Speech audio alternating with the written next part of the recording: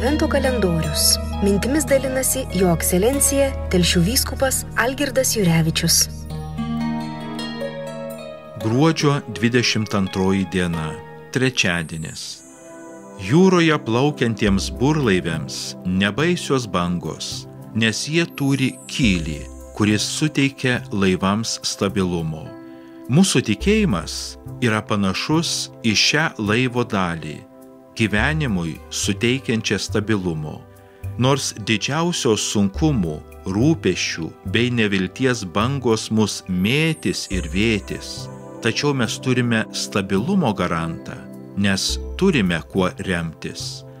Tai patyręs, psalmės autorius rašo, viešpats yra mano uola ir išgelbėjimas, mano tvirtovė, aš nesviruosiu keliaukime ir mes nesviruodami, nes viešpats yra mūsų uola ir mūsų tvirtovė.